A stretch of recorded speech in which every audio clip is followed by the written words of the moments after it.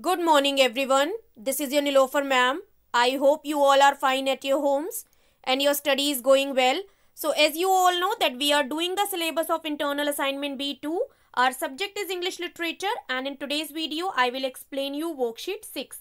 So before starting the work like always you all have to mention today's date in your copies that is 3 December 2020. With this you have to mention online classwork in your copies and with this you have to mention lesson 8a in your copies and the topic of the lesson is fire friend and foe. So as you know that we are doing the uh, we are doing lesson 8a so in yesterday's worksheet i have explained you uh, the remaining exercises related to the lesson. And in today's video i will explain you the question answers. So let's see the first question question number one is what do you understand by the flash point of a fuel आप flash point से क्या समझते हैं? किसी भी ईंधन का जो फ्लैश पॉइंट होता है, ज्वलंत बिंदु what do you understand by that so the answer is every fuel like paper coal और wood begin to burn only at a particular temperature which is generally provided with a lighted matchstick. So, जो भी fuel होती है, हर fuel हर ईंधन, जैसे कि paper coal और would जो होता है, ये जलना कब शुरू करता है? जब इसे एक पर्टिकुलर टेम्परेचर दिया जाता है, एक तापमान दिया जाता है। और जो सामान्यता किसके द्वारा प्रोवाइड किया जाता है? विद लाइटेड मैच स्टिक आप जलती हुई माचिस की तीली से जो हीट देते हो टेम्परेचर देते हो। This temperature is called the flash point और जो पर्टिकुलर टेम्परेचर होता है, जिस पर वो फ्यूल जलना स्टार्ट कर देती है that is called flash point और kindling temperature of the fuel question number second uh, is in two parts so the first part of question number second is what are some common uses of fire so uh, fire के जो common uses हैं वो क्या हैं answer is the common uses of fire are to cook food warm our homes in winter and to generate electricity so जो common uh, उपयोग हैं fire के आग के वो हैं खाना बनाना सर्दियों में अपने घर को गर्म रखना एंड इलेक्ट्रिसिटी को जनरेट करना the second part of question number second is in what sense is fire a bad master किस प्रकार से फायर जो है वो एक बैड मास्टर मीन्स बुरा मालिक बन जाती है? Answer is fire becomes a bad master fire bad master बन जाती है when it gets out of control जब वो हमारे कंट्रोल से बाहर हो जाती है। It can be very dangerous और ये बहुत खतरनाक हो सकती है when it is out of control it burns homes shops and kills and injures hundreds of people every year ये क्या करती है? बहुत सारे घरों को जलाती है शॉप्स दुकानों को जलाती है एंड किल्स एंड इंजर्स लोगों को घायल करती है, मारती है मीन्स हंड्रेड्स ऑफ़ पीपल हज़ारों लोगों को हर साल। Question number third is what are three main ways in which a fire can be controlled और पुट आउट सो कौन से ऐसे तीन तरीके हैं जिसके द्वारा आप फायर को कंट्रोल कर सकते हैं और उसे बुझा भी सकते हैं? So the answer is three ways in which fire can be control और पुट आउट तीन तरीके जिसके माध्यम से आप फायर को कंट्रोल कर सकते हैं और पुट आउट मीन्स बुझा सकते हैं।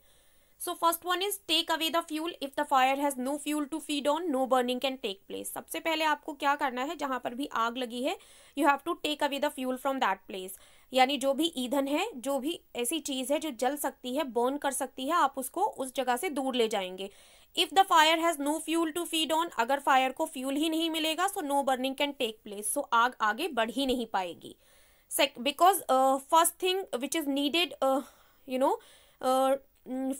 for fire that is fuel only second is prevent oxygen from reaching fire by throwing a damp blanket और spraying carbon dioxide on it आपको क्या करना है? ऑक्सीजन को प्रिवेंट करना है ऑक्सीजन को रोकना है फायर तक पहुँचने से। आप कर सकते हो by throwing a damp blanket एक गीला कंबल डालकर आप रोक सकते हैं और by spraying carbon dioxide on it और अगर आप आग के ऊपर कार्बन डाइऑक्साइड जो है वो स्प्रे करते हैं सो तब भी ऑक्सीजन जो है वो प्रिवेंट हो जाती है फायर तक पहुँचने से। No supply of oxygen means no fire because second most important thing for fire is oxygen if oxygen supply will not be there so no fire would take place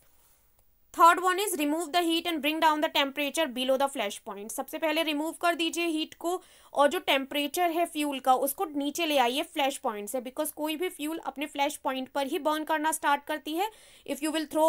water on it so उसका temperature down हो जाएगा और flash point से नीचे जब temperature आ जाता है then आपकी फायर जो है वो पुट आउट हो जाती है।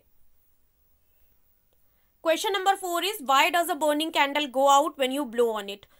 क्यों एक बर्निंग जलती हुई कैंडल जो है वो बुझ जाती है जब आप उसके ऊपर फूकते हैं ब्लो करते हैं? So the answer is when we blow on a burning candle जब हम किसी एक जलती हुई मोमबत्ती के ऊपर ब्लो करते हैं फूक मारते हैं we remove the hot air around the flame so जो उसकी फ्लेम होती है उसके चारों तरफ़ जो गर्म हवा होती है वो रिमूव हो जाती है। Thus we bring down its temperature below the flash point and the candle goes out so जब टेम्परेचर uh, मीन्स जो हॉट एयर है टेम्परेचर ही उसके आसपास से रिमूव हो जाता है सो हम क्या करते हैं, इस तरीके से उसके टेम्परेचर को नीचे ले आते हैं फ्लैश पॉइंट से और जो कैंडल है वो अपने आप ही बुझ जाती है। Question number five is spraying water is not a good way of putting out an oil fire और an electrical fire why not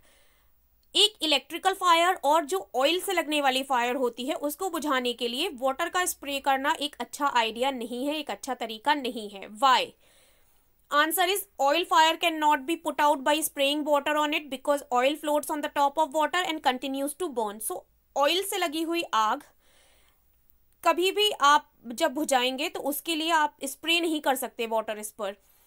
आप उसे नहीं बुझा सकते। Because oil floats on the top of water क्या होता है? ऑयल जो होता है वो पानी के ऊपर तैरता है एंड कंटिन्यूज टू बर्न और जलना जो है वो कंटिन्यू रखता है। Water flows quickly uh, with carrying the burning oil thus the fire spreads so water जो होता है वो जल्दी से फैलता है फ्लोज बहता हुआ जाता है और साथ में अपने जलता हुआ जो तेल है वो भी बहा कर लेकर जाता है। और इस तरीके से आपकी फायर जो है वो और फैलती है by spraying water on an oil fire